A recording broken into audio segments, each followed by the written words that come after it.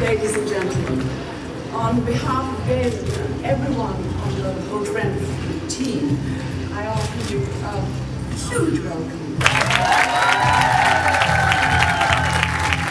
can't tell you what it me as a boy to come back home to get this.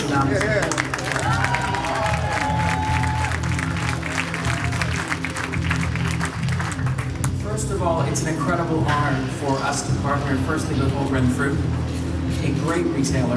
Um, for me, it was a beacon of style um, growing up, and I learned so much about the outside world, not just stylistically, but also philanthropically, because Holt Renfrew has a big history of supporting great causes over the years and opened people's eyes to a lot of important causes. So thank you for continuing with that work.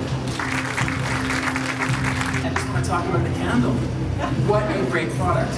Available with two fragrances. This is the old advertising guy three wick candle, $50.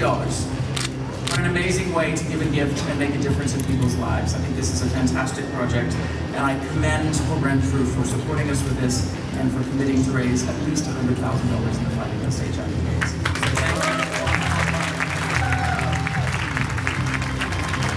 Thank you. Very much, David. Um, I'd like to reiterate our thanks to uh, Galen Hilary Weston, Holt Renfrew, for this amazing project. Um, if it had been lawnmowers, I probably would have said not so much interest. Uh, boxer briefs, probably yes. Candles, definitely.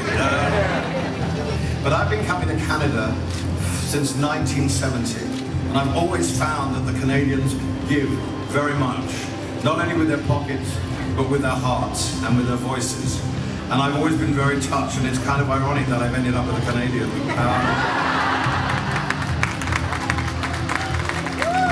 I love this country. Um, it doesn't shout enough about itself from the rooftops. It needs to do that more. You're not a second cousin to America. You're a great, great country.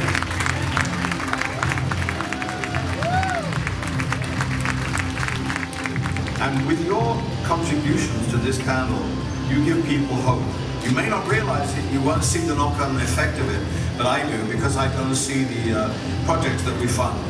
And when you see these people and how happy they are that someone has actually cared enough to make a donation or to, to give, they always say, thank, please tell the people who gave this money, thank you.